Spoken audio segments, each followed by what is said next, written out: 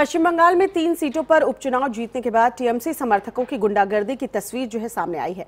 North 24 Pargana ज़िले में उपचुनाव के नतीजे आते ही बड़ी तादाद में टीएमसी के समर्थक जो है वो बीजेपी के दफ्तर पहुँचे और बीजेपी के चार दफ्तरों पर कब्जा कर लिया।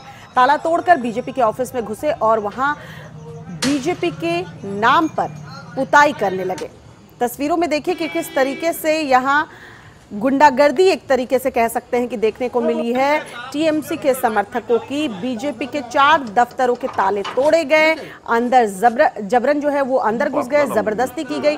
और किस तरीके से यहाँ पोस्टर्स जो लगे हुए थे उस पर पुताई की गई है। बीजेपी के जो पोस्टर्स लगे थे उसे भी नुकसान पहुँचाया गया है। चार दफ्तर पर कब्जा किया है टीएमसी के समर्थकों ने। बीजेपी के ये चार कार्यालय हैं जिस पर जबरन जो है ताले तोड़कर अंदर घुसे हैं टीएमसी के कार्यकर्ता और देखिए किस तरह से पुताई की जा रही है।